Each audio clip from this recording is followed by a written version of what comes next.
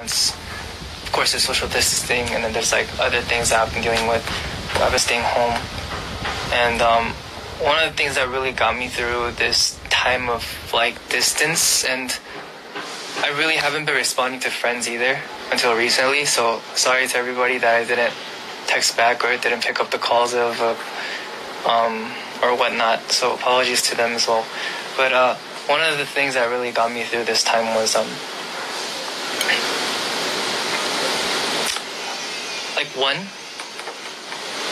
You, you guys know how like sometimes people make like reactions on uh, YouTube about uh, like the albums and stuff.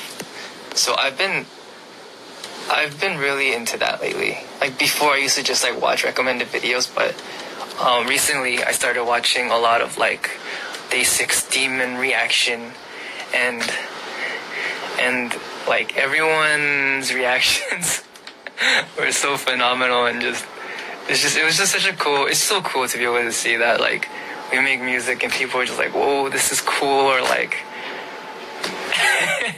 and Sungjin's da da da da da da da. Because we all cracked up at that too. That was kind of like an inside joke for us too. And everyone was just like, what the, what the hell was that?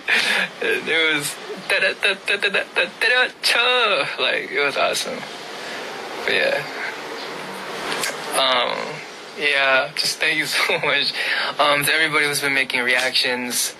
Um, I've been looking into all of those. I've literally seen every reaction of Demon, I think, and uh, of Zombie, and everyone was just, just like so so cool, and just everyone was so positive and like they got the meaning and the definition. Everyone like took the time to look at the lyrics and just just I don't know, man, like just vibe with the song, you know what I mean?